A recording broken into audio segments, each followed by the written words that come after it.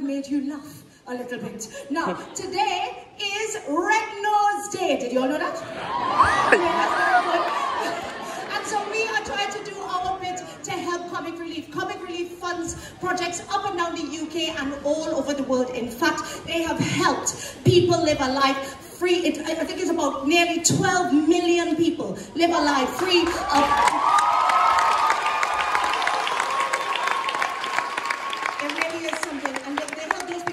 free of poverty and discrimination and violence, and that is no bad thing. So dotting around our theatre are beautiful, gorgeous, lovely front of house people are waiting with buckets, so we want you to dig deep and give whatever it is you can. And they also have card readers, so you can't get away.